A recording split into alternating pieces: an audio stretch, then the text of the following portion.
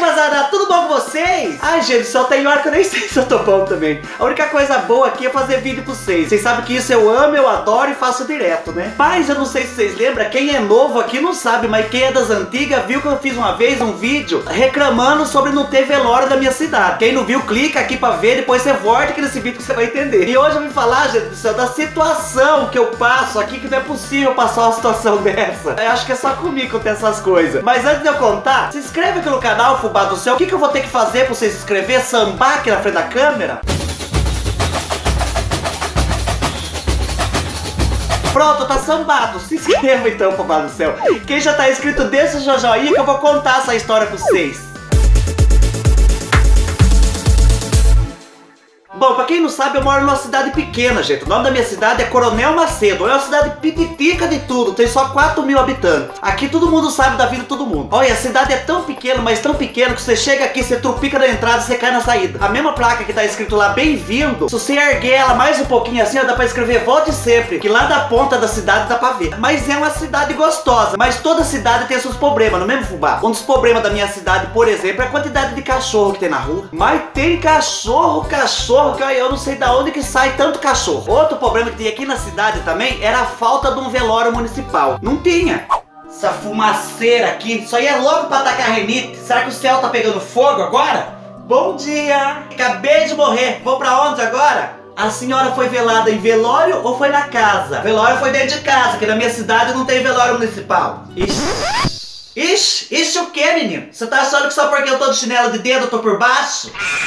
As pessoas morriam, os pobres já chamavam as vizinhas que era pra ajudar a arrastar o sofá, que era pra abrir espaço na sala pra pôr o caixão ali, escondia os objetos pequenos, porque senão já viu, né? Até velório a turma não perdoa e leva mesmo. E fazia o velório ali no meio da sala da casa. Era assim que funcionava. E a cachorrada da rua ali, ó, latino na frente do velório, firme e forte. Eu, olha, parece que eles sabiam o endereço dos velórios. Ou também era porque estava querendo pão com carne, né? Porque antigamente aqui na minha cidade dava pão com carne no velório. Não sei se na cidade dos seis era assim, mas aqui eles davam pão com carne. Pão com carne moída. Mas isso antigamente, porque hoje mal e mais dão água com açúcar pra acalmar a viúva. Até que teve uma vez que morreu gente aqui na cidade e eu, Kabila, tava com vontade de comer pão com carne. E daí nós combinamos de esperar na rua até a hora do velório pra nós ir lá comer um pouco de pão com carne que nós tava com vontade. E tava demorando, gente do céu. E nós aquela vontade não chegava o corpo, aquela lombriga roncando não chegava o corpo. Mas eu, Kabila, tava ali, ó, firme e forte esperando. De repente chegou o padeiro com a cesta de pão desse tamanho. Eu, Kabila, falando assim, vamos esperar dar meia hora pra não ficar tão na cara, né? E daí a hora que deu tempo, nós entramos lá com a cara de quem não tava entendendo nada. Quando a gente chega no velório, a gente chega assim, né? Chega como quem não quer nada, com a cara de bobo, né? Não sabe o que que tá acontecendo. Daí nós passemos na frente do caixão, fizemos o sinal da cruz, fomos direto pra cozinha comer o pão com carne. Nós chegamos lá, vocês acreditam que era pão com manteiga que estava dando? E não tava nem com a manteiga. A gente chegava lá e dava faca na mão da gente e mandava a gente cortar o pão e passar a manteiga ainda. Não é um desaforo? Aí eu peguei e voltei pra trás que nem Michael Jackson. Eu falei assim, ah, eu não vou passar por isso.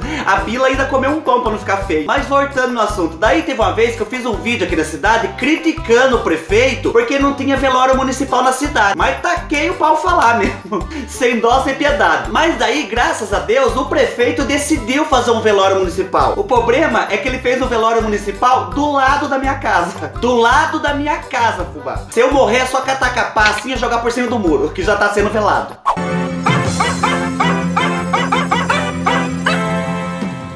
Boa noite! Moradores precisam mudar a sua rotina por conta de um velório. A nossa repórter Fubá está lá no meio do povo e vai contar o que aconteceu. É com você, Fubá! Boa noite, Fubá! Estamos aqui na rua onde moradores precisaram mudar a sua rotina por conta de um velório. E vamos entrevistar algumas pessoas para saber como que está sendo a rotina. Agora eles deram para fazer macumba aqui na frente. Porque diz que tem macumba que faz perto de velório, né? Outro dia eu trupiquei por cima de um tacho de barro, quase estourei minha joanete. Eu posso com isso? Eu, eu fui o responsável pela obra. Tá tudo dentro dos conformes. Ai, entrei ali dentro achando que era aniversário. Bati palma e tudo. Sou da vida, rodo bolsinha que ninguém tem nada a ver com isso, fico ali na esquina, entendeu? Mas quando tem velório, os clientes não param. Agora eu te pergunto, quem que vai pagar minhas contas? Aqui fala a repórter Fubá para o jornal Fubá Online. Voltaremos a qualquer momento com mais notícias.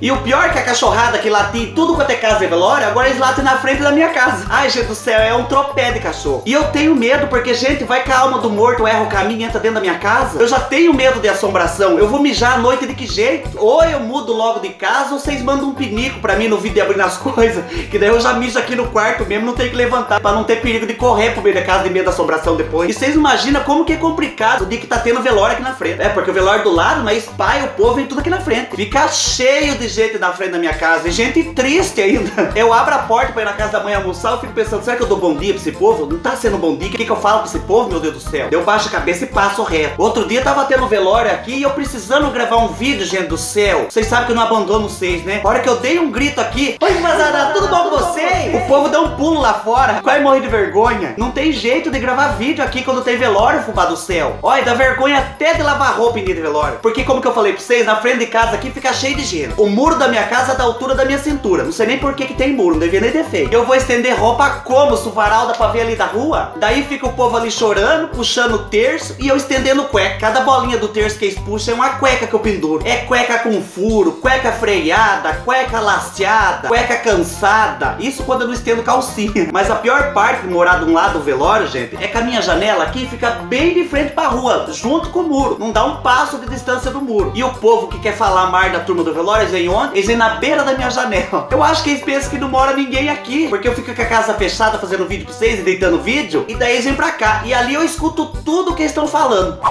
O Lazariano morreu me devendo ainda. Será que fica feio cobrar a mulher dele? Mas que caixãozinho fraco, não? Fraco, fraco. Onde será que vai pousar esse povo? ah lá, a amante dele chegando. o amante dela chegando agora. Conheço também. Gente, o que, que é isso? Dá vontade de abrir a janela com tudo e perguntar assim pra esse povo. Viu?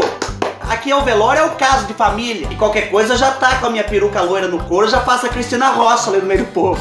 Fubá, eu espero que você tenha gostado desse vídeo, eu espero que você tenha se divertido. É exatamente assim que acontece comigo, gente do céu. Olha o que que eu passo. Eu tenho que mudar logo, não tem mesmo? Mas logo eu mudo. E a hora que eu for mudar, eu mostro pra vocês a casa que eu escolher e eu levando minha mudança. Vai ser super legal. Por enquanto não dá pra mudar porque eu não tenho dinheiro e as casas tá caras. Mas tá sair umas casas do governo aqui na minha cidade, vai que eu ganho uma. E se eu não ganhar, eu vou achar uma mais barata também. Uma que seja fechada e que não seja do lado do velório. Não seja do lado do mercado também, senão eu viro gastar. Já abro uma conta, já me enfio na vida ali. Aqui embaixo tem playlist, viu? Vocês clique na playlist. Muito importante também, traga gente aqui pro canal. Continue trazendo, vocês estão de parabéns. Traga mais um. Não pro velório, aqui pro, pro canal. E eu quero que vocês sorriam sempre, gente. Sorria bastante. Contexto que for, eu quero ver vocês felizes. Muito obrigado por me assistir até aqui. E tchau, até o próximo vídeo. Boa noite, Fubá. Estamos aqui na frente. IMCA. Boa noite, Fubá.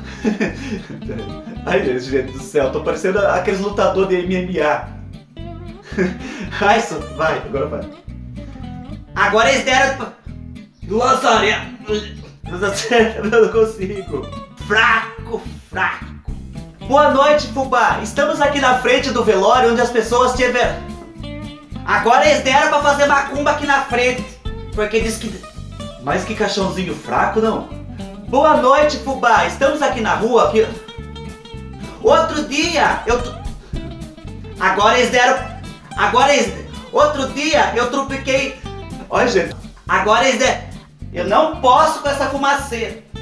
Essa fumaceira. Ô, ô, fui. Isso, isso o que, querido? Tá achando o quê? O pior que eu. eu... Boa noite. Boa noite. Pior é que o bofe morreu me devendo. Fazer programa fiado é uma lástima. Fazer. O pior é que o bofe morreu. Fazer programa.